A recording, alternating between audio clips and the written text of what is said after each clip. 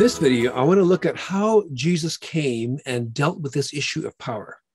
Scripture describes him as the second Adam. The first Adam we know really messed things up, and we've been messed up ever since. The second Adam came to show us how God intended we should live. And that includes the use of power. We're using these red lines as a metaphor of power. And when Jesus came, to live this second Adam life for us, he encountered fierce opposition. And he had to use power in this confrontation. And you'll notice when you read the Gospels that right before he began his public ministry, he had to work through a temptation.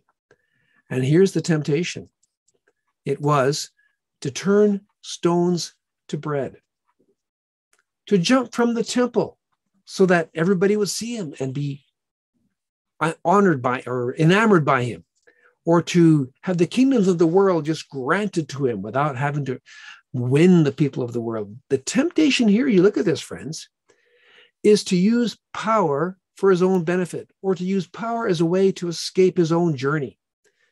It's interesting that the very first thing he had to do was to commit to the correct and godly use of power. Now, Jesus had the power to do miracles, but you'll notice that the miracles were always for someone else's benefit.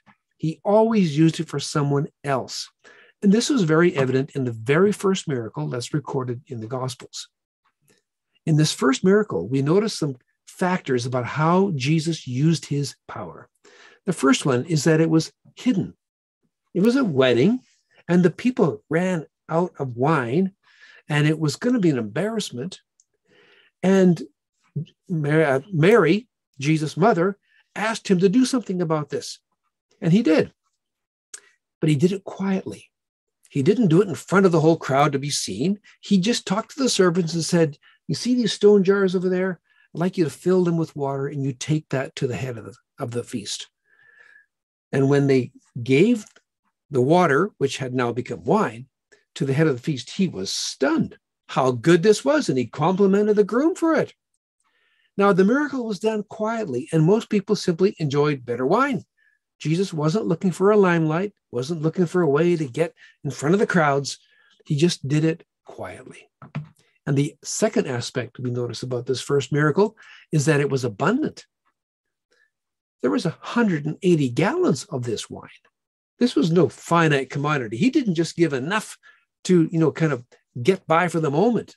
No, he did it with abundance. And you'll notice that every time he fed with a miracle, it was always abundant. And it shows that when you share this kind of godly power, it doesn't diminish the giver because godly power is generative and it was freely given, no charge. And then the third thing we should notice about this first miracle is that it was loving. Because actually, power without love can be brutal. Jesus was using his power in a loving way to shield the family from embarrassment for the lack of wine, and he gave them the very best wine. Now, that's the first miracle. But there were times when Jesus showed his power and it was not hidden, and it was done in very different ways. Let me show you two pictures here. Look at this first one the picture of the woman caught in adultery he had power to condemn her. In fact, they said, you should, you should kill her, you should stone her. He leaned down and he did not. Gentle.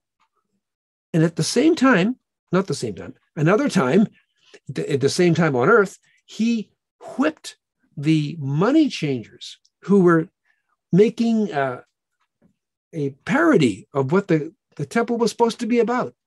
And so when we look at these two examples, we learn that uh, power is intended not always to be hidden, sometimes it's to be visible, and sometimes it's used in dramatic ways.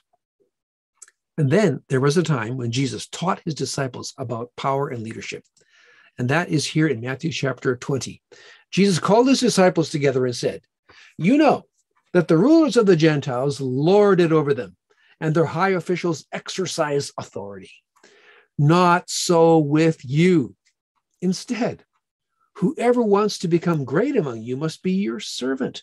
Whoever wants to be first must be your slave. just as the Son of Man did not come to be served, but to serve and give his life as a ransom for many. Wow, what a demonstration of power. Now, I'd like to take the way Jesus modeled power and contrast it with Nietzsche. Here's Nietzsche's version of power, and then here's Jesus.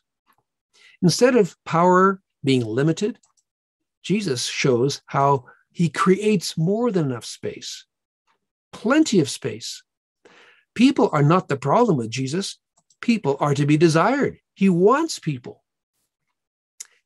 His goal is not to dominate and control, but to bless and empower other people, to give them life. He didn't cooperate just to gain from people, he cooperated in order to serve other people. His ultimate purpose was not to seize power, but to share power. Oh, what a difference these two are. And we could summarize these two contrasting views of power with two images the first image is Nietzsche's image, and that could be summarized in the fist that coercion is the essence of power. Image for the power of Christ would be one of giving, open handed, full of life and light. But there's another aspect, friends, that we have to look at. Jesus said, Follow me.